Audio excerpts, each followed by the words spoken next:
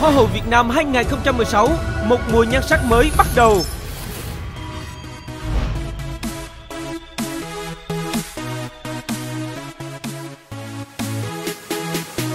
Đêm trung khảo phía Nam tại nhà hát Hòa Bình, thành phố Hồ Chí Minh, truyền hình trực tiếp lúc 20 giờ trên kênh VTV9 Đài truyền hình Việt Nam ngày 12 tháng 6 năm 2016.